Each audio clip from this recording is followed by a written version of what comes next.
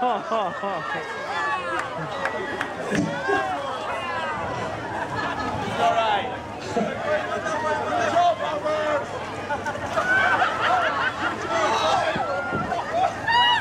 know what you're thinking.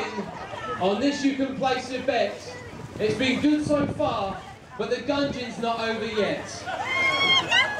We've already gunned several odd types. But to please me, we should finish